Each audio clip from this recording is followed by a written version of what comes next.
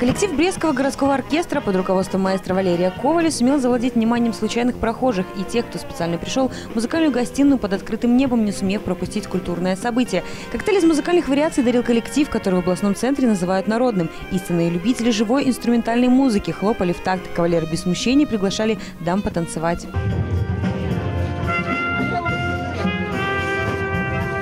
В этом году год культуры Белоруссии. Мы, э, а еще мы, вы знаете, празднуем 20-летие оркестра.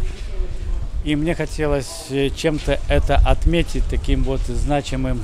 Мы переместились жить на Советскую. Это наша квартира здесь постоянная. Поэтому решили, у меня такая идея, чтобы наша советская зазвучала в полной мере. Э, Та половина, там площадка специально сделана для бардов, для таких мелких групп. Но мы уже облюбовали здесь эту площадочку около себя.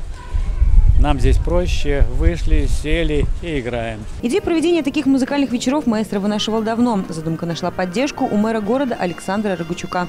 Место встреч было выбрано не случайно. Здесь, на Советской, большое скопление туристов. Здесь любят прогуливаться горожане, молодежь и взрослые. Новая форма общения с публикой, по мнению Валерия Коваля, изменит стереотипы людей о том, что такое духовой оркестр. Программа выступлений обещает быть интересной для широкого круга брещан. У меня э, уже по, по мере рождаются идеи такие, что мы будем приурочивать каким-то праздникам. И это будут тематические вечера, обязательно тематические. Вот в ближайшее время мы будем готовить программу к Дню защиты детей. Э, Я хочу сделать еще старинный вальс на советской. Такую ту самую идею у меня есть. Потом музыка из кинофильмов на советской.